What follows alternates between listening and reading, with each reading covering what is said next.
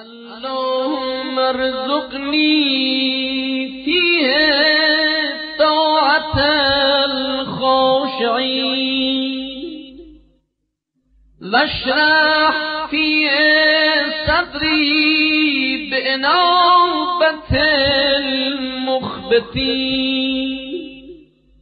بأمانك